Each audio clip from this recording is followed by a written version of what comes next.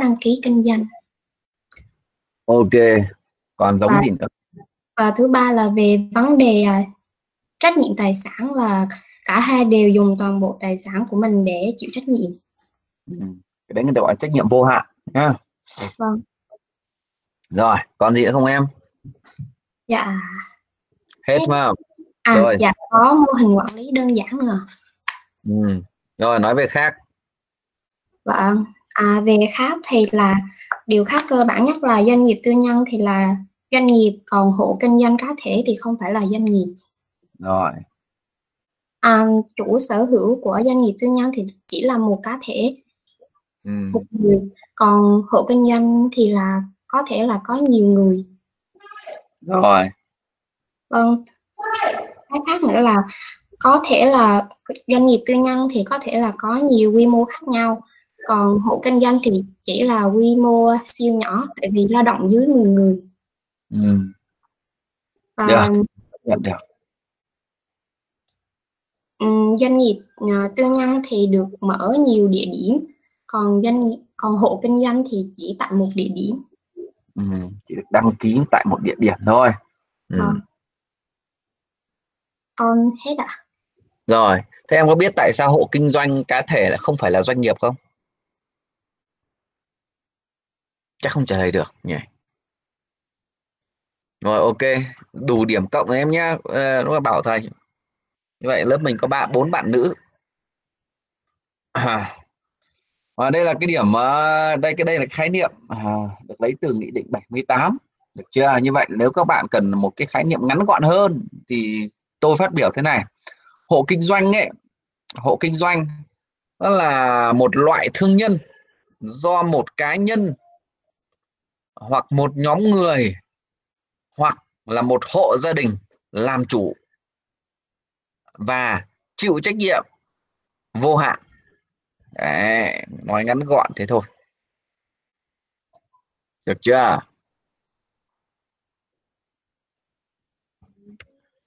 Nào bây giờ ta nói về cái đặc điểm của nó nhé đặc điểm của hộ kinh doanh.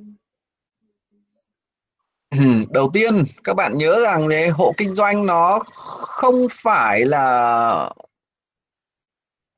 hộ kinh doanh nó không phải là một doanh một loại hình doanh nghiệp à, hộ kinh doanh nó không phải là một loại hình doanh nghiệp. À, nó là thương nhân nhưng nó không phải là doanh nghiệp các bạn nhé. Tại sao không phải là doanh nghiệp? Này ta nhìn thấy cái đặc điểm của doanh nghiệp. Doanh nghiệp nó phải có mấy điều kiện mới được gọi là một doanh nghiệp. Cái này phải về chương 1 nha.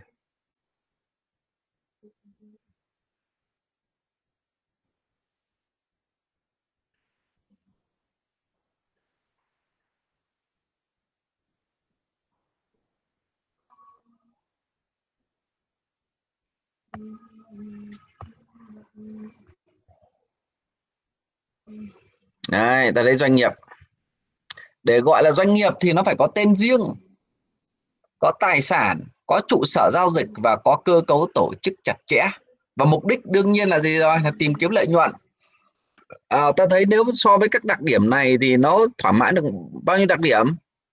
Nó thỏa mãn hết. Chỉ có thiếu một cái đặc điểm thôi nó không thỏa mãn được đây này là có cơ cấu tổ chức chặt chẽ.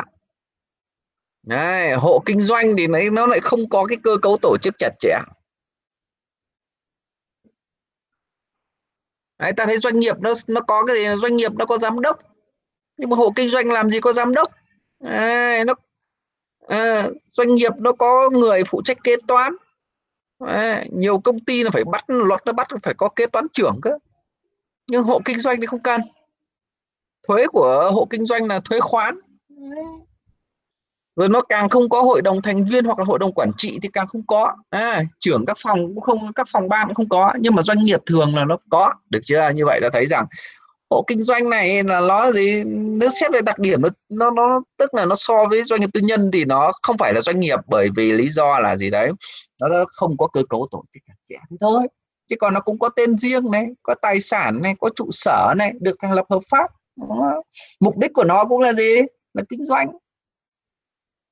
Được chưa các bạn? Tiếp. Về chủ sở hữu. Về chủ sở hữu. Ta thấy rằng gì? Nó có có có có ba loại. Nếu ta xét kỹ ra là nó có ba loại chủ sở hữu. Đầu tiên là gì? Do một cá nhân làm chủ thứ hai nữa là gì? Do một nhóm người làm chủ ví dụ ba bạn trong lớp rủ nhau mở một quán cà phê và đăng ký dưới dạng là mô hình hộ kinh doanh là một nhóm người. Đấy, gồm ba người đấy. đấy và cái một loại hình ừ, chủ sở hữu thứ ba nữa là là hộ gia đình. Hộ gia đình là ai? Hộ gia đình thì theo khái niệm của luật dân sự đó là những người có quan có quan hệ huyết thống hoặc quan hệ nuôi dưỡng cùng sinh sống với nhau. Thì người ta gọi là hộ gia đình. Đấy. bây giờ các bạn lại tư duy tiếp vậy một cái cái cá nhân nước ngoài có thể trở thành chủ hộ kinh doanh được không? Có thể để thành lập ở hộ kinh doanh được không? Ừ. cá nhân nước ngoài là có, có thể không? Xin thưa là không thể đâu nha này các bạn thấy không? Luật uh, nghị định nó nói luôn này các cá nhân phải là gì? Phải là công dân Việt Nam đủ 18 tuổi. Dưới 18 tuổi cũng không được nhé phải đủ 18 tuổi. Đấy, và phải là công dân của Việt Nam. Như vậy là người nước ngoài là không được thành thành lập ở dạng hộ kinh doanh là cá nhân. Nhóm người cũng vậy nha nhóm người cũng không được. Nhóm người này phải tất cả đều phải là công dân hết công dân Việt Nam hết. Thế còn hộ gia đình thì sao các bạn? Hộ gia đình thì có thể là gì? Có thể là người nước ngoài được không hả các bạn? Có thể nha. Đấy, ta thấy hộ gia đình thì lại có thể đấy các bạn nha. Tôi lấy ví dụ nha một cô một cô gái Việt Nam lấy một anh chồng nước ngoài và hai vợ chồng mở một cái nhà hàng hay là mở một quán cà phê đăng ký ở dạng hộ gia đình hộ kinh doanh. Hộ kinh doanh cụ thể là hộ gia đình thì được phép không? Xin trường hợp này thì lại là được nha các bạn nha được nha. Đấy, hộ gia đình thì bao giờ cũng có nhiều thành viên đúng chưa? Tối thiểu phải có vợ hoặc chồng hoặc là gì bố bố mẹ với con. Đấy, thì trong thành viên của hộ gia đình có thể là có người nước ngoài. Tức là ông chồng vẫn quốc tịch nước ngoài chẳng hạn. Đấy, hoặc cô vợ vẫn là người quốc tịch của, của ở nước ngoài chưa phải là chưa quốc tịch Việt Nam thì vẫn được nhé ok chưa? Đấy, các bạn lưu tâm về chủ sở hữu như vậy. còn về việc điều hành kinh doanh thì sao? Thì tất cả các thành viên ấy, ờ, của của hộ kinh doanh này đều có quyền đều có quyền kinh doanh hết không cần phải hỏi ý kiến của ai cả nha đều có quyền kinh doanh và ờ, không cần hỏi ý kiến của ai. Ví dụ ờ, ba bạn trong lớp rủ nhau mở quán cà phê thì cả ba bạn này đều được thực hiện các hành vi kinh doanh mà không cần hỏi ý kiến hay cần có sự đồng ý của các thành viên khác à, thế còn ai chịu trách nhiệm? Thì nếu như mà nếu như uh, uh, ai chịu trách nhiệm thì hộ kinh doanh phải chịu trách nhiệm về mọi hành vi kinh doanh của các thành viên. Nha chứ không phải trách nhiệm cá nhân người ta đâu mà hộ phải phải chịu trách nhiệm. Đấy. À, ví dụ ba bạn ờ, cùng nhau mở quán cà phê đấy bạn ABC chẳng hạn thì cái hành vi kinh doanh của bạn A đấy thì ai chịu trách nhiệm thì cả thì hộ kinh doanh đó phải chịu trách nhiệm cụ thể hơn là cả A, B, C đều phải chịu trách nhiệm về các hành vi kinh doanh của một uh, trong số các thành viên hiểu chưa đấy. đấy việc điều hành kinh doanh là nó vậy nhé nó không như doanh nghiệp đâu nó không nó không như doanh nghiệp công ty trách nhiệm hữu hạn hay công ty cổ phần nó phân ra ha. chỉ có hội đồng thành viên giám đốc mới được ký các hợp đồng thôi còn các người khác không được nhưng hộ kinh doanh không phải ai cũng được quyền ký hợp đồng thế, ai cũng được quyền tiến hành các giao dịch hết. Đấy. và những cái giao dịch của họ là phải phải phải cả hộ kinh doanh đều phải chịu trách nhiệm. Tôi lấy ví dụ thế này, hoặc ví dụ khác đây ví dụ nhà một bạn trong lớp nha gồm có bố, mẹ và hai hai đứa con. Bố, mẹ, hai đứa con cùng nhau mở một cái, gọi là chúng ta mở một cái nhà nghỉ, một khách sạn, một cái khách sạn đăng ký hộ kinh doanh. Thế với tôi, giả sử bây giờ ông bố, ông vay Ờ, 500 triệu của một người hàng xóm để phục vụ cho hoạt động kinh doanh. Đến hạn ông bố không trả được nợ vậy vợ và hai người con kia có chịu trách nhiệm trả nợ uh, thay cho ông bố này không? Thì xin thưa là phải có trách nhiệm trả nợ thay nhé lý do vì sao? Bởi vì cái khoản vay này nó là để không là nó để phục vụ mục đích chung của hộ kinh doanh. Thì tất cả các thành viên đều phải chịu trách nhiệm hết à, nhưng mà nếu ngược lại nếu ông bố này nhé ông đi vay 500 triệu ông đi đánh bạc ông đi đánh bạc và ông thua hết thì vợ và con có chịu trách nhiệm trả nợ uh, trả ờ, trả nợ cái khoản này không? Thì xin thưa là không. Lý do bởi vì cái khoản tiền này ấy là được ông bố ông bố vay nhưng mà không sử dụng vào mục đích chung của hộ kinh doanh. Hiểu chưa? Đấy.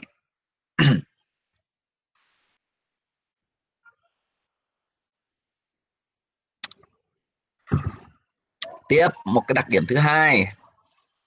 Đặc điểm thứ hai nữa là về ờ, về về ờ, về chế độ chịu trách nhiệm đây tôi nói chế độ chịu trách nhiệm trước nhá. Về chế độ chịu trách nhiệm thì hộ kinh doanh ấy là các thành cụ thể hơn là các thành viên của hộ kinh doanh là chịu trách nhiệm vô hạn.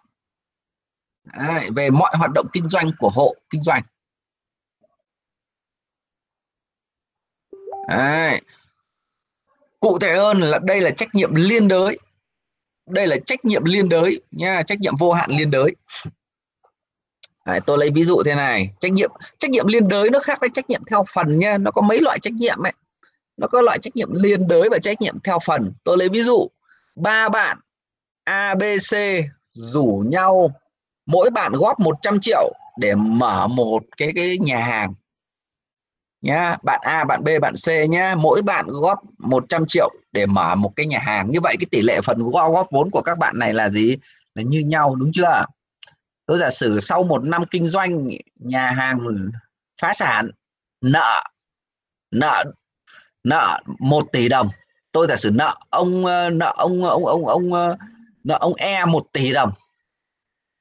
Cái hộ kinh doanh này nhá nợ ông E một tỷ đồng vậy ai chịu ai có trách nhiệm phải trả? Một tỷ cho ông E à? thì xin thưa cả ba bạn A B C đều có trách nhiệm phải trả hết. Và trách nhiệm khoản nợ này chỉ chấm dứt khi nào khi toàn bộ số nợ đã được thanh toán xong. Đấy, và ông A và và ông E nhé ông E có quyền yêu cầu một trong ba người phải thanh toán toàn bộ số nợ trên. Đấy. hoặc ông E cũng có thể yêu cầu gì? Cả ba người phải thanh toán số nợ theo tỷ lệ uh, vốn góp. Đấy, tôi giả sử giả sử nhé ông nghe ông yêu cầu A B C mỗi người phải thanh toán cho ông là hơn ba yêu cầu A và B trả nợ thay cho cho cho C. Hiểu chưa? Trả nợ sai thay cho C nhá. Và trách nhiệm nợ chỉ chấm dứt khi nào? Khi toàn bộ một tỷ đã được thanh toán xong. À, các bạn hiểu chưa? Người ta gọi là trách nhiệm gì đấy? Liên đới trách nhiệm liên đới. Tức là gì? Một thành viên, nếu có thành, nếu như có có có những thành viên mà không có tiền trả nợ là các thành viên còn lại là phải dùng tài sản riêng của mình mà trả thay cho cho các thành viên đó. Hiểu đơn giản nhất là thế. Hiểu chưa? Đấy, trách nhiệm liên đới chỉ chỉ trong trường hợp mà hộ kinh doanh nó là hộ gia đình thôi hoặc là gì hoặc là một nhóm người thôi nhá. Còn nếu như hộ kinh doanh nó chỉ là một cá nhân làm chủ thì nó cũng giống như doanh nghiệp tư nhân thôi nhá. Đó là trách nhiệm vô hạn thôi chứ không không cần không phải là liên đới. Vì có ai nữa đâu mà mà liên đới. À, à thế tôi nói thêm các bạn thế giờ ông cái cái cái bà vợ đây có chịu trách vợ có có phải trả thay cho ông chồng không? Xin thưa là không đâu nhá. Không không vợ không có trách nhiệm trả thay cho chồng đâu. Cái hộ kinh doanh này nó cũng vậy nhá. tôi giả sử giờ có một thành viên nào đó mà lại ờ, sang nước ngoài định cư sinh sống chẳng hạn. À, sang sang nước ngoài đang đang đi nước ngoài sinh sống thì cũng không phải chịu trách nhiệm đâu. Được chưa? Tiếp. Một đặc điểm nữa là về quy mô. Về quy mô. Thì uh, hộ kinh doanh như tôi nói nó không phải là doanh nghiệp mà nó chỉ là một loại thương nhân thôi. À, và quy mô là gì? Quy mô kinh doanh là nhỏ hẹp. Đấy quy mô kinh doanh của hộ hộ kinh doanh là nhỏ hẹp. Nhỏ tính nhỏ hẹp thể hiện ở đây này. Thứ nhất là gì? Nó chỉ được đăng ký kinh doanh tại một địa điểm. Một địa điểm thôi nhé địa điểm đây nó tính theo gì đây? Nó nó nó tính theo cái cái số nhà cái thửa đất số nhà các bạn thấy ở thành phố đúng không? Nhà nào cũng cũng có số nhà hết. Đấy thì mỗi một cái số nhà đấy gọi là một địa điểm kinh doanh. Thế bây giờ thế bây giờ chúng ta lại lại thuê một cái nhà ông hàng xóm để mở một cái nhà nghỉ. Thì trường hợp đấy có được không? Xin thưa là không được nhá. Trường hợp đấy thì lại là hai địa điểm rồi không được. Phải thành lập doanh nghiệp hoặc là lách luật bằng cách là gì nhà thằng nhà một đứa nó người thân ở đó đứng tên cho hiểu không tức là các bạn hiểu cái địa điểm kinh doanh này này là, là nó tính theo số nhà. Đấy, số nhà tính theo thửa đất. Nếu hai số nhà khác nhau hoặc hai thửa đất khác nhau tức là hai địa điểm. Mặc dù có thể là một chủ nhá có thể là một ông chủ ông sở hữu hai căn nhà nhưng có hai số nhà khác nhau thì đều không được phép đăng ký hộ kinh doanh. Chỉ đang anh anh chỉ được chọn một trong một trong hai thôi không được chọn cả hai. Nên trên thực tế có gặp nhiều các cái nhiều người ấy, nhiều gặp cái hoàn cảnh tình cảnh. Ví dụ mình đăng ký ví dụ như tôi nhá ví dụ ông A đi ông đang có một cái nhà nghỉ. Ông kinh doanh ở, đăng ký kinh doanh ở dạng hộ kinh doanh. Bây giờ ông mua của, ông mua thêm một cái nhà nghỉ của ông hàng xóm ngay bên cạnh nhà ông ấy. Hiểu chưa? Vậy bây giờ ông có được gộp hai cái nhà nghỉ này là một là không? Thì xin thưa là không nhá. Vì đây này, chỉ được đăng ký một địa điểm trong trường hợp đó, cái ông A chỉ có cách rồi nhờ người thân mình ấy, thôi đứng tên đăng ký hộ kinh doanh dùng. Người ta gọi lách luật. À. Thế chị thưa nếu các bạn mà được ờ, được được người thân nhờ đứng tên dùm có nên đứng không? À, đừng có ngu dại nhé đừng có ngu dại đứng tên dùm nhá. Vì sao? Vì hộ kinh doanh nó cũng giống như là doanh nghiệp tư nhân là chủ sở hữu phải chịu trách nhiệm gì? Vô hạn. Thế chả may bây giờ ông ông đi làm ăn thua lỗ ông đi vay ngân hàng thì ai phải phải trả nợ? Chính là cái người đứng tên tức là cái người được ông nhờ đứng ờ, đứng hộ hiểu chưa? Nên đừng có ngu dại, đừng đừng có ngu dại nhờ người thân nào đứng tên đấy. Người thân nhờ mình cứ chỉ đi nhờ người thân thôi, chứ chứ đừng để người thân nhờ mình, ha. Ok chưa? Một rồi tiếp một yếu yếu tố thứ hai nữa là gì? Nó là sử dụng không quá 10 lao động. Nếu nếu anh muốn sử dụng trên 10 lao động thì phải làm gì? Anh phải chuyển mô hình thành gì? Doanh nghiệp, thành doanh nghiệp nhé chứ bây giờ cái ví dụ tôi giả sử cái đoàn thanh tra liên ngành nó đi kiểm tra mà nó phát hiện ra hộ kinh doanh này sử dụng trên 10 lao động là nó phạt. Cái lách luật bằng cách nào hả các bạn? Lách bằng cách gì? À, thì tôi tốt nhất hàng tháng nuôi chịu khó nuôi một một một người mật thám ở trong cái sở đó trong cái sở lao động ấy để khi nào đi kiểm tra thì nó alo cho biết nó mà giải tán bớt nhân viên. Hoặc là gì? Hoặc là chúng ta chịu khó nhận thằng đứa này là à, đứa này là con nuôi đứa kia là cháu. À, hoặc không thì trốn khi nào có đoàn thanh kiểm tra đến thì bảo nó leo lên lầu trốn bớt đi. Chứ quá 10 người là bị phạt đấy. À. được chưa? Tiếp. Là nó không có con dấu riêng. À, đương nhiên hộ kinh doanh nó nó không có con dấu riêng đâu nhé nó không phải là pháp nhân nên không có con dấu đâu con dấu nó chỉ áp dụng cho pháp nhân thôi tức là tổ chức thôi.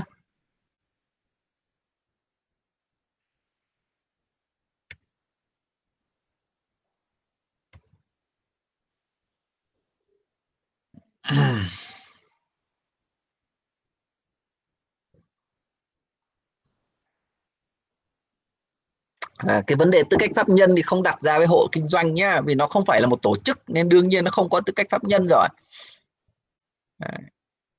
à, tài sản của hộ kinh doanh với cả tài sản của chủ sở hữu nó là nó có tách biệt nhau không? Xin đưa rằng nó giống doanh nghiệp tư nhân là không có sự tách biệt giữa hai khối tài sản này nhá. À, tài sản của hộ kinh doanh với cả với cả gì thành viên của hộ hay là chủ sở hữu hộ kinh doanh ấy, nó là một khối thống nhất không phân chia. Cái này giống doanh nghiệp tư nhân à, hộ kinh doanh có khả năng huy động vốn không? Có có khả năng phát hành chứng khoán không? Ừ, phát hành chứng khoán là không thể nha. Phát hành chứng khoán chỉ dành cho các tổ chức kinh tế thôi mà hộ kinh doanh không phải là tổ chức kinh tế. Đấy, khả năng huy động vốn của nó vì vậy cũng rất là hạn chế. Cái này giống doanh nghiệp tư nhân nha. Hộ kinh doanh muốn có vốn chỉ có cách gì thôi? Muốn có vốn có cách gì? Có hai cách. Một là đi vay ngân hàng mà đi vay ngân hàng như tôi đã phân tích các bạn với lãi suất kiểu của Việt Nam mình thì doanh nghiệp trước sau chết thôi. À, một cách thứ hai nữa là hộ một cách thứ hai nhé là kết nạp thêm thành viên mới. Ví dụ ba bạn đang mở nhà hàng bây giờ cần thêm 100 triệu để kinh doanh. Cả ba đứa chả có đứa đứa nào có tiền cả. Như vậy thì, thì làm thế nào? Thì rủ thêm một đứa nữa. Như vậy thành bốn đứa. Bảo đứa kia góp thêm 100 triệu nữa. À, các bạn hiểu chưa? Đấy đấy là một cách để gì? Để huy động vốn bằng cách đó là tức là kết nạp thêm thành viên mới.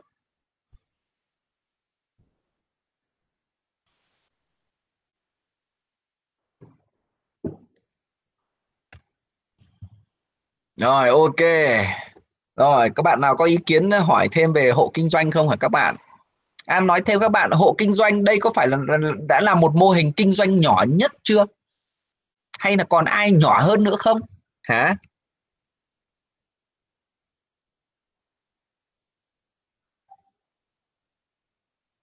Mời bạn Hoàng Ngọc Lan trả lời cho nào.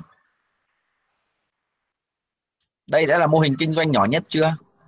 Thưa thầy là em nghĩ là mô hình kinh doanh nhỏ nhất rồi thầy mày con trai à? Dạ. Đâu, lân thầy ơi lân. Lân thầy không phải lan thầy. Nhìn chữ l ăn man đây đâu phải lâm đâu. Không có dấu thầy ơi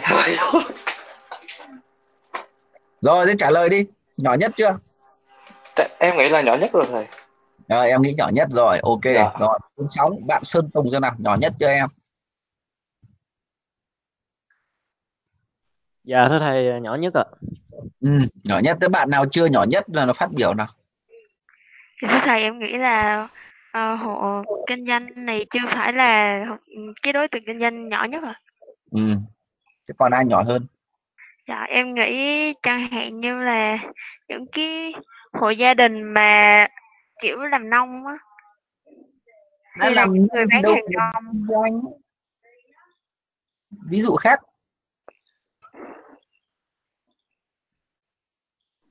bài một thầy dạy rồi. Nào trả lời cho nào. Dạ còn phải là hình thức nhỏ nhất tại còn những người như là bán hàng rong ừ. uh, kinh doanh đơn lẻ ừ, rồi. Rồi chính xác rồi đấy. Bạn Nguyễn trả lời là chỗ đúng rồi chưa phải là nhỏ nhất đâu vì còn có cái loại mô hình kinh doanh nhỏ hơn nhỏ đến cái mức mà nhà nước khinh không thèm bắt đăng ký kinh doanh. Ừ, các bạn hiểu chưa? À, vậy căn cứ vào đâu để bắt đăng ký kinh doanh và không đăng ký kinh doanh? Đó là căn căn cứ vào doanh thu. Nhé doanh thu như các ông nhà nước mình các cái ông phòng đăng ký kinh doanh nó chỉ ước lượng thôi. Ước lượng thì à tháng này tháng này doanh thu chắc khá khá đây. Bắt đăng ký kinh doanh thế thôi. Đăng ký ở dạng hộ kinh doanh đấy nhá. Ví dụ những người bán rong bán dạo à, những người mà kinh doanh quy mô như gọi là thu có doanh thu quá nhỏ nhỏ đến mức mà không đủ tiêu chuẩn để bắt đăng ký kinh doanh. À, còn mức doanh thu thế nào ta phải xem quyết định của từng tỉnh nhá. Có thể nó đặt quy định ví dụ doanh thu anh một tháng 3 triệu tỉnh thì 5 triệu đấy là phải đăng ký kinh doanh.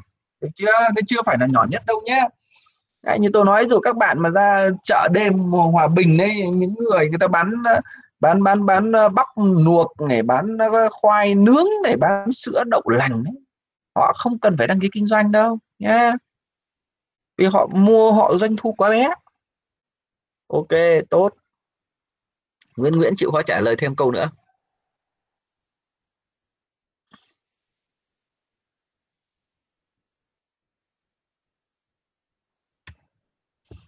Rồi, bây giờ nhận xét về cái mô hình hộ kinh doanh này thì có vài đôi lời nhận xét thế này thôi. Như các bạn bạn bạn Quyên Quỳnh hay Quyên nó trả lời rồi đấy. Là cái mô hình này ấy thì nó nó phù hợp đây là một mô hình kinh doanh gì đấy siêu nhỏ. Siêu nhỏ nhá và nó chỉ phù hợp kinh doanh ở cái quy mô gì thôi. Cái quy mô gọi là siêu nhỏ thôi. Vì sao nó phù hợp quy mô siêu nhỏ? Này các bạn thấy này. Thứ nhất là gì? Nó chỉ được đăng ký kinh doanh một địa điểm. Thứ hai là không được sử dụng quá 10 lao động. Đấy nên là có nghĩa là gì? Nghĩa là cái doanh thu của hộ kinh doanh này thường là cao hay thấp? Thường là thấp, nha. Thường là thấp lắm. Vì doanh thu thấp nên là cái số lượng thành viên của hộ kinh doanh là sẽ là gì? Nhiều hay ít? Ít thôi. Chứ mà nhiều quá ví dụ bây giờ trong lớp, bây giờ tôi lấy ví dụ các bạn 10 bạn trong lớp rủ rủ nhau hùn vốn để mở một quán cà phê. Tôi giả sử tiền lãi một tháng các bạn thu về 20 triệu rồi chia cho 10 đứa, mỗi đứa có 2 triệu, không bỏ chính vì thế mà cái số lượng thành viên của nó thường không lớn đâu nhá. À, tuy nhiên trên thực tế tuy nhiên thực thực tế có một cái vấn đề thế này ví dụ các bạn mà xuống thành phố Hồ Chí Minh chẳng hạn hay ở Đà Lạt cũng vậy à, có rất nhiều hộ kinh doanh là nó quy mô cái doanh thu của nó một năm khá là lớn. Tức là có những hộ kinh doanh nhá doanh thu một năm lớn. Ê, và cơ quan thuế khuyên họ là lên chuyển đổi thành doanh nghiệp nhưng mà họ kiên quyết không chịu. À, không tôi cứ thích đăng ký ở hộ kinh doanh tôi không muốn trở thành doanh nhân đâu tôi không muốn trở thành doanh nghiệp đâu. Tại sao vậy các bạn? Tại sao? Các bạn nào biết trả lời cho nào Dạ thưa thầy, em nghĩ là tại vì đóng thuế thấp. thuế thấp ừ. cái gì nữa không? Thuế thấp hả? Ừ. rồi ok. Có một cái lợi cái thế này này. À, cái hộ kinh doanh ấy thì họ là thuế khoán. Thuế của nó là thuế khoán nhé Thế một năm ông, ông, ông khoán cho hắn nộp bao nhiêu tiền thuế đấy chả cần biết mày thắng hay mày lỗ hay lãi. Đấy, nhưng mà doanh nghiệp ấy thì là nó tính theo để ờ, nó, nó anh anh ờ, doanh nghiệp. Thì nếu mà anh mà làm ăn thua lỗ thì không phải nộp thuế thu nhập doanh nghiệp. Nhưng mà nếu làm ăn có lãi thì anh phải nộp thuế thu nhập doanh nghiệp nhé.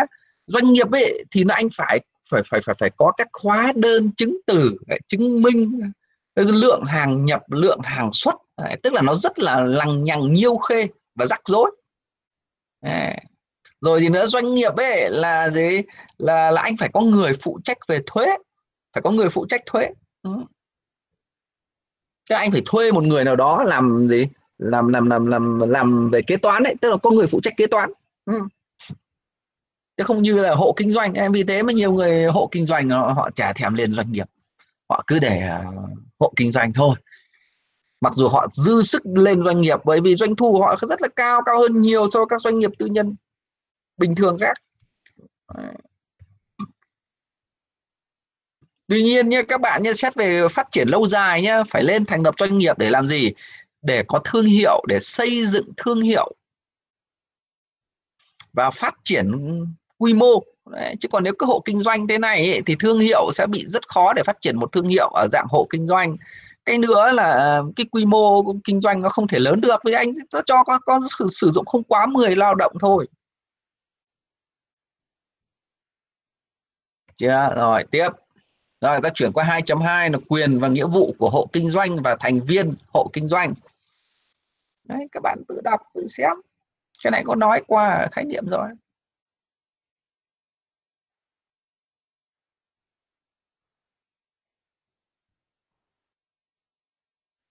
Đấy, mỗi một cá nhân nhé chỉ được đăng ký một hộ kinh doanh thôi. Ví dụ như tôi bây giờ tôi ví dụ tôi muốn mở một quán cà phê thì tôi chỉ được mở một quán thôi. Còn mở một quán thứ hai là không được. Đấy. muốn mở quán thứ hai chỉ có lách luật bằng cách gì tôi nhờ nhờ người nhờ vợ nhờ con nhờ bạn bè người thân thôi.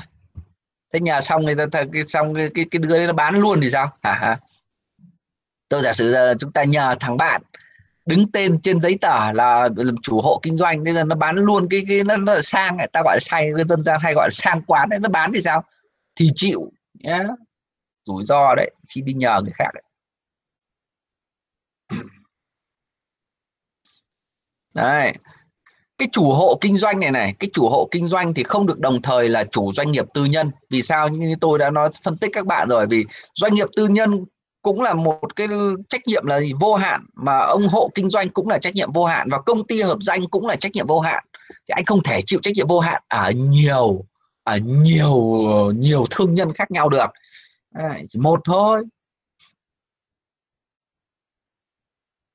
Đấy. thế có được quyền góp vốn vào các công ty khác không? Được nhé chủ hộ kinh doanh cái tức là thành viên hộ kinh doanh được quyền gì? Được quyền góp vốn mua cổ phần ở các doanh nghiệp khác thoải mái. Vì sao? Bởi vì trong các vì vì, vì ví dụ vì góp vốn và mua cổ phần ở công ty trách nhiệm hữu hạn hay công ty cổ phần ấy vì hai cái loại hình này nó là nó là trách nhiệm hữu hạn chứ không phải là vô hạn. Nên được phép còn ông doanh nghiệp tư nhân với ông hợp danh thì nó lại là gì? Vô hạn nên không được phép. Thế thôi. Chuyển qua mục 2.3 ta nói về cái đăng ký kinh doanh đối với hộ kinh doanh. Đăng ký kinh doanh. Đấy, điều kiện để đăng ký kinh doanh đây. Thứ nhất là về chủ thể như tôi đã phân tích các bạn. Phải là công dân Việt Nam. Đấy, có năng lực đầy đủ. Đấy. phải là công dân nhá. Còn riêng đối với hộ gia đình ấy đối riêng đối với hộ gia đình thì cái thành viên hộ gia đình có thể là người nước ngoài được nha có thể là người nước ngoài được. Chứ còn uh, hộ kinh doanh mà là cá nhân hoặc một nhóm người thì phải là công dân Việt Nam từ đủ 18 trở lên.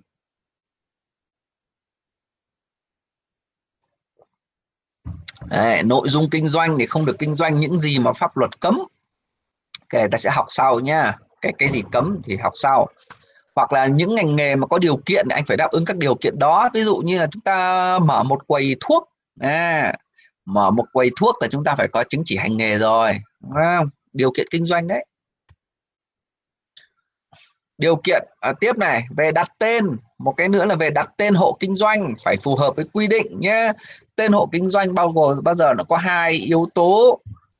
Thứ nhất là loại hình loại hình là loại hình tên chung loại hình chung chính là hộ kinh doanh và tên riêng. Tên riêng này phải viết bằng tiếng Việt à, không được vi phạm văn hóa đạo đức. Ví dụ tên riêng ví dụ như ví dụ như là gì? Ví dụ như Ngọc Khuê. À, ví dụ như là tỏi đen. Ví dụ như là anh em. Đấy chính là tên riêng. Tên riêng này có được phép trùng không? Có được trùng với tên riêng hộ kinh doanh khác không? Thì xưa là không nhá. Không được trùng với hộ kinh doanh khác trong phạm vi cấp huyện. Phạm vi cấp huyện thôi nhưng vậy ngoài cấp huyện thì sao? Ngoài cấp huyện thì được thì được nhá. Thì được. Đấy, ví dụ như là hộ kinh doanh ờ, Phương Trang ở Đà Lạt bây giờ một hộ kinh doanh Phương Trang ở ở huyện ờ, Di Linh được không? Được. Nhưng cùng ở Đà Lạt thì không được thế thôi để đặt tên. Đấy, còn trình tự đăng ký thì đầu tiên chúng ta phải nộp hồ sơ tới phòng ờ, tài chính kế hoạch thuộc ủy ban cấp huyện. Phải nộp hồ sơ nhé xin đăng ký tới phòng tài chính kế hoạch. Trong thời hạn 3 ngày làm việc, cơ quan đăng ký kinh doanh sẽ xem xét cấp giấy chứng nhận đăng ký kinh doanh nếu có đầy đủ điều kiện. Còn nếu chưa đầy đủ điều kiện, ông sẽ ra thông báo cho chúng ta để biết, để bổ sung, hoàn thiện các điều kiện đấy, lệ, lệ phí ta rất rẻ lệ phí chỉ có trăm nghìn thôi. À, đấy chúng ta muốn đăng ký ký ta nộp hồ sơ nhé hồ sơ mua cái lên tới cái phòng đăng ký chúng ta tới cái phòng tài chính kế hoạch này bảo bán cho tôi một bộ hồ sơ thế là nó bán cho tôi trong đó có cái tờ giấy đơn đăng ký có giấy giấy đăng ký ấy. thì chúng ta về điền các thông tin đó thôi sau đó là gì? Nộp 100 nghìn lệ phí thế là xong được cấp ngay giấy chứng nhận đăng ký kinh doanh. Rất dễ rất nhanh.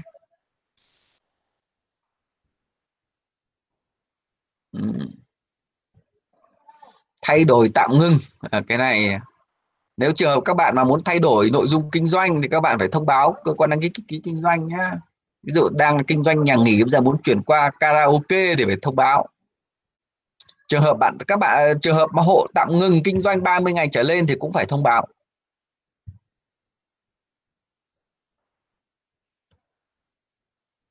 À, đây là các trường hợp bị thu hồi giấy chứng nhận đăng ký kinh doanh các bạn tự xem đi tự đọc tự xem.